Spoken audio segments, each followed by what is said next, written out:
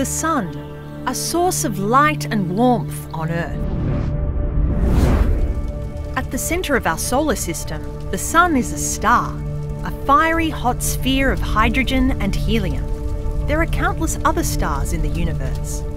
Our star is 1.39 million kilometres across, 109 times the width of Earth.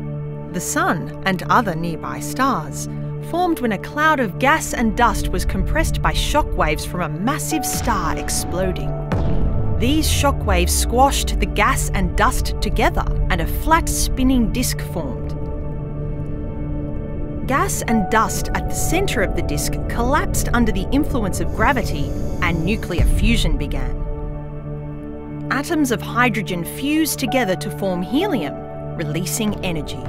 This energy is still being released as heat and light. Over hundreds of millions of years, the remaining material clumped together, forming comets, asteroids, and eventually planets.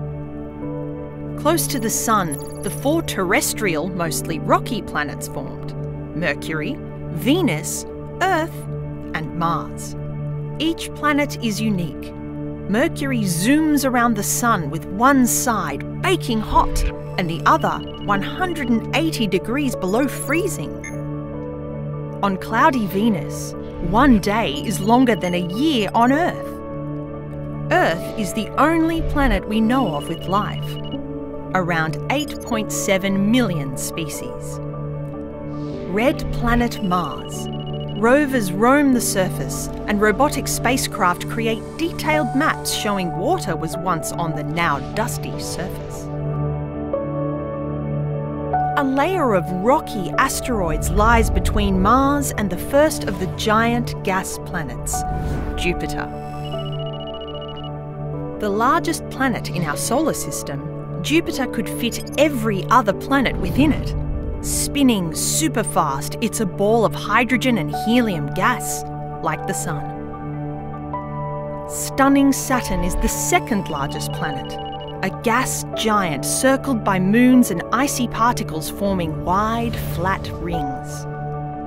Further out, Uranus and Neptune are spinning blue giants with freezing surfaces and super fast winds. Beyond is a belt of icy dwarf planets, like Pluto, and the source of comets that streak past Earth on their orbit around the Sun. Many robotic spacecraft have flown by our planetary neighbours, but no human has yet set foot on another planet. The Voyager spacecraft are the most distant objects we have sent into the solar system. It's one tiny way we are trying to understand the amazing region we live in.